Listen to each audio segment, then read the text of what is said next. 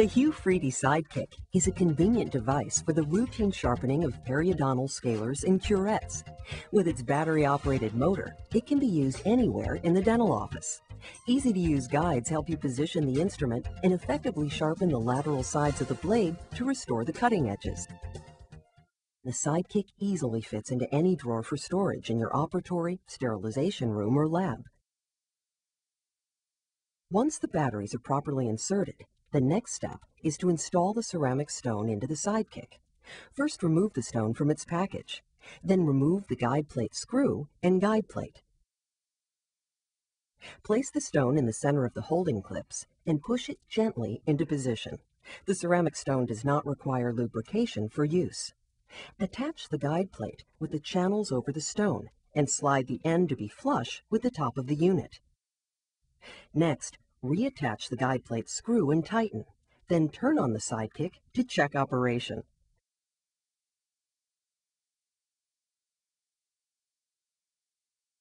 On the guide plate, there are two channels and a toe guide for positioning different instruments. These channels are the key to creating sharp blade edges every time. The G channel is used for Gracey curettes, and the SU channel is used for sickle scalers and universal curettes. The circular opening is the toe guide and is used to sharpen the toe of either Gracey or universal curettes. Each channel has two areas of contact with the instrument. The back of the blade rests on the vertical backstop of the channels, and the terminal shank rests on the angled terminal shank guides.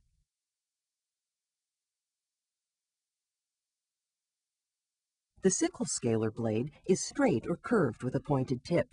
The cross-section is triangular, resulting in a pointed back. The junction of the face and lateral sides of the blade form the two cutting edges. When the blade becomes dull, both sides of the blade are sharpened to restore the cutting edges. To sharpen the sickle scaler and the sidekick, hold the scaler with a light, comfortable grasp and establish a fulcrum on the sidekick close to the top. Stabilize the sidekick by holding it gently with your other hand. To begin sharpening, turn on the sidekick and position the sickle scaler in the guide. To do this, position the blade in the SU channel guide. Place the middle of the back of the blade against the vertical backstop of the channel. Then rest the terminal shank against the angled terminal shank guide. In this position, the side of the blade will be against the stone for sharpening. The positioning of the sickle scaler is the same for a curved or straight blade. Apply gentle pressure to hold the blade in place and slowly move the blade forward and backward along the channel two to three times. Reposition the blade to sharpen the other side of the blade and repeat. Notice that the tip of the blade is pointed in the opposite direction. Do not apply too much pressure to the stone. This will cause unnecessary wear on the motor. Only gentle pressure is necessary to achieve sharpness. To check for sharpness, hold the sickle scaler in your dominant hand with the side of the blade against the stick and the terminal shank parallel to the test stick. Lean the cutting edge toward the test stick, applying moderate pressure. A sharp cutting edge will bite into the test stick.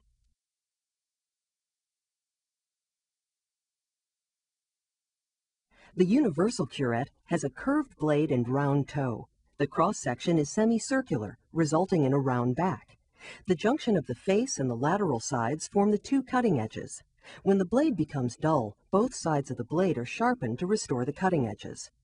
To sharpen the universal curette and the sidekick, hold the instrument with a light, comfortable grasp and establish a fulcrum on the sidekick close to the top. Stabilize the sidekick by holding it gently with your other hand. To begin sharpening, turn on the sidekick and position the universal curette in the guide. To do this, position the blade into the SU channel guide. Place the middle of the back of the blade against the vertical backstop of the channel. Rest the terminal shank against the angled terminal shank guide. In this position, the side of the blade will be against the stone for sharpening. Apply gentle pressure to hold the blade in place and slowly move the blade forward and backward along the channel two to three times. Reposition the blade to sharpen the other side of the blade and repeat. It may be necessary to change your grasp and fulcrum position. Notice that the toe of the blade is pointed in the opposite direction. Do not apply too much pressure to the stone. This will cause unnecessary wear on the motor. Only gentle pressure is necessary to achieve sharpness. To sharpen the toe of the blade, direct the toe into the toe guide on the guide plate.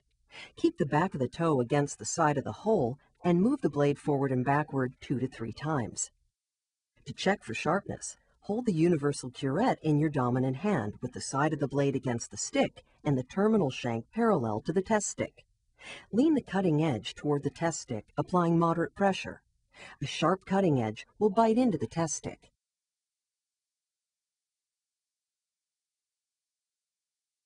Gracey curettes have a curved blade and round toe. The face of the blade is angled at 70 degrees to the terminal shank, rather than perpendicular to the shank.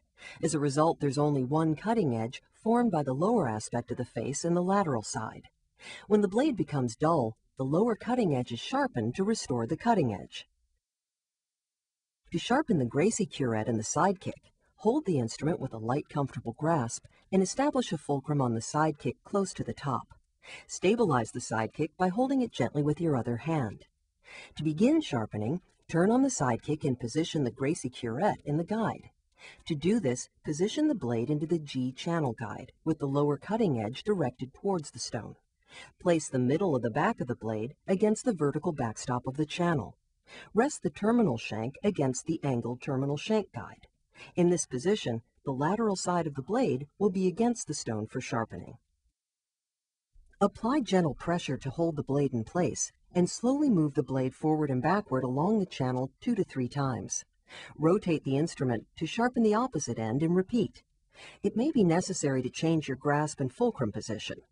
Notice that the toe of the blade is pointed in the opposite direction. Do not apply too much pressure to the stone. This will cause unnecessary wear on the motor.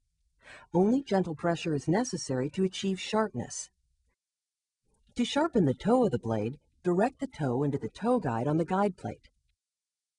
Keep the back of the toe against the side of the hole and move the blade forward and backward two to three times. To check for sharpness, hold the Gracey curette in your dominant hand with the side of the blade against the stick and the terminal shank parallel to the test stick. Apply moderate pressure. A sharp cutting edge will bite into the test stick.